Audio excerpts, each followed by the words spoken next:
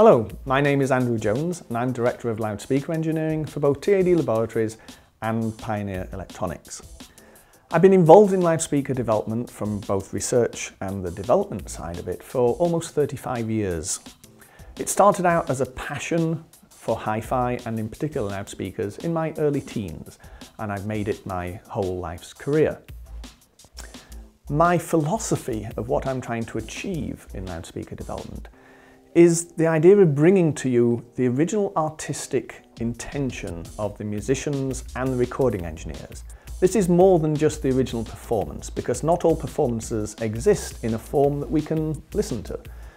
But the intention of those engineers who capture whatever performance is going on, that's what I want you to hear.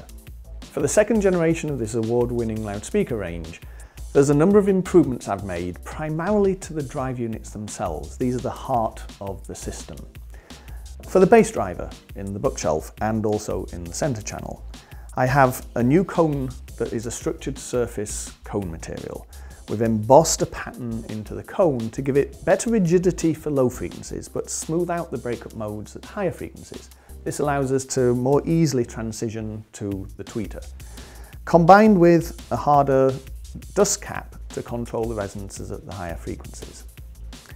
Now, looking at the rear of the driver, you can see we've vented the pole piece. This allows us to relieve the pressure buildup behind the dust cap and give a more dynamic bass performance. We've also lowered the resonant frequency of the driver, so again, getting a much more extended bass performance out of this driver.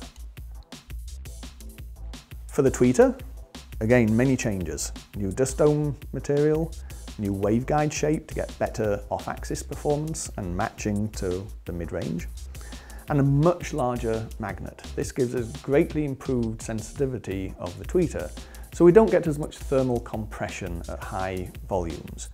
So all of these changes mean we get a much more dynamic performance from the speaker system.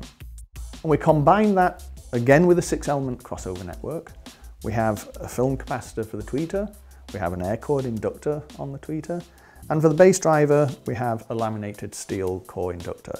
This allows us to get high sound levels without any ill effects from that inductor. Overall, the speaker systems have more extended dynamic bass, a smoother mid-range performance, and overall increase in both efficiency and ease of drive. So even with entry-level receivers, we get a very well-matched system and a very well-performing system. What I wanted to create with these loudspeakers is not only bringing you the original artistic intention of the performances, but also the fun factor in listening to music. We want to listen to music, we want to enjoy our music, and we want to be surprised by what is in that music. And I believe that these loudspeakers allow you entry into that, the fun of what is in that music to listen more and more and fully be involved and enjoying the musical experience.